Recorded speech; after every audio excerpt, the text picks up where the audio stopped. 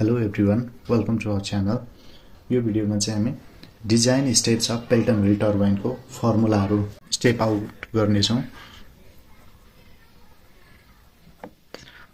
Video सुरु गरौँ। सुरुमा हामी डायमिटर अफ व्हिल अथवा रनरको डायमिटर निकाल्ने फर्मुला लेख्छौँ।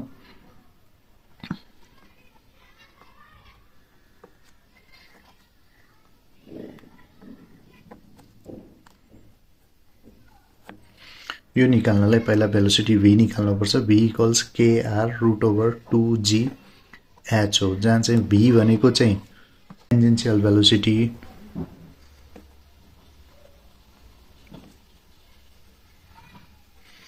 भेलोसिटी हो। यसलाई further pi DN by sixty लेख्न सकिन्छ। अब यहाँ एन भनेको चाहिँ सिङ नर्मल स्पिड हो। नर्मल अथवा सिङ्क्रोनमस स्पिड भन्छ यसलाई चाहिँ आरपिएममा लेख्ने गरिन्छ होइन? अब यो केआर भनेको के हो त भन्दा केआर चाहिँ स्पिड रेसियो हो। यसलाई चाहिँ केआर अथवा फाइ भन्ने गरिन्छ। यसलाई V perennial sorry V peripheral by V flow भन्ने गरिन्छ। भी फ्लो लेख्न गरिन्छ। यसको further formula DN is divided by eighty four point six root over H हो यो एच भनेको हेड भयो र यो डी भनेको डायमिटर हो। डी इक्वल्स डायमिटर हो। अब हामी अघि कुरा गर्दै थियौँ यो केआरको केआर चाहिँ कतिभित्र रेन्ज हुन्छ? केआरको रेन्ज भनेको जेरो पोइन्ट फोर थ्रीदेखि जेरो पोइन्ट फोर एट आउँछ। यो फर्मुला लाएर क्यालकुलेसन गऱ्यो भने के केआरको भ्यालु यो रेन्जभित्र आउनु पऱ्यो जहाँबाट चाहिँ अब यो सबै गर्दाखेरि हामीले डी यो निकाल यहाँ भएको डी निकाल्ने हो। डीको भ्यालु फाइनल्ली के आउँछ त भन्दाखेरि eighty four point six phi अथवा केआर हामीले यो equals phi equals KR equals speed ratio phi root over H is divided by N यहाँबाट चाहिँ डायमिटर अफ द व्हिल आउँछ। डायमिटर अफ व्हिल निकालिसकेपछि दुई नम्बरमा निकाल्छौँ हामी। Diameter of jet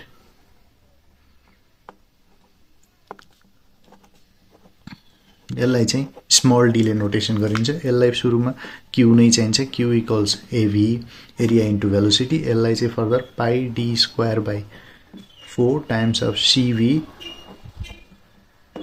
two G S लेख्ने गरिन्छ। यहाँ अब यो क्यु भनेको त डिस्चार्ज भइहाल्यो होइन? अनि ए भनेको क्रस सेक्सनल एरिया जेटको क्रस सेक्सनल एरिया हो।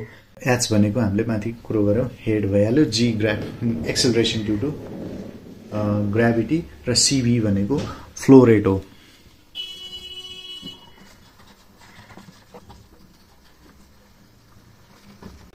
यसको रेन्ज भनेको जेरो पोइन्ट नाइन एटदेखि जेरो पोइन्ट नाइन नाइनभित्र लिन सकिन्छ। यो value Q times of four is divided by CV root over two G H equals D square pi यो भ्यालु युज गर्ने भने हाम्रो डायमिटर अफ जेट आउँछ।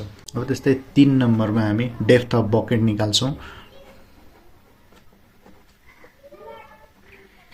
एच बीले नोटिफाई गरिन्छ। यो भनेको zero point eight D to one point two times of D यो डीको भ्यालु चाहिँ यो युज गर्ने यहाँ आउँछ। त्यसपछि फोर्थ नम्बरमा radial length of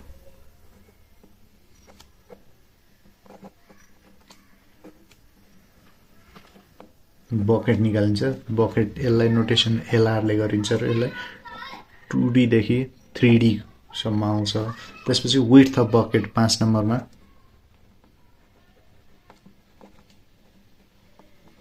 bucket W यसको formula three D to four D दुईदेखि दुई डीदेखि तिन डी तिन डीदेखि चार डी यो सिरियली याद गर्दै गयो भने भइहाल्छ। सिक्स नम्बरमा नम्बर अफ बकेट्स एन निकाल्छौँ number of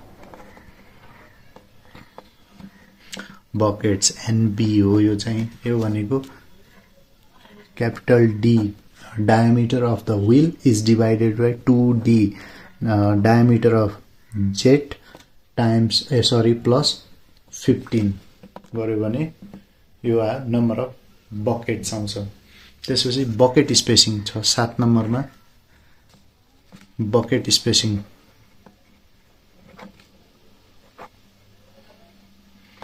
S equals pi D is divided by NB गरेपछि बकेट स्पेसिङ यति गरेपछि हाम्रो पेल्टन व्हिल टर्बाइनको डिजाइन स्टेपहरू यानि फर्मुलाहरू कम्प्लिट हुन्छ।